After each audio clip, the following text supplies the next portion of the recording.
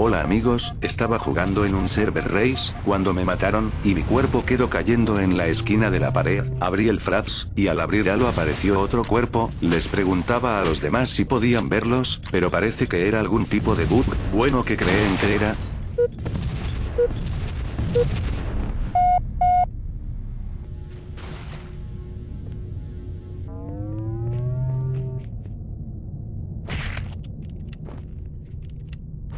Boop.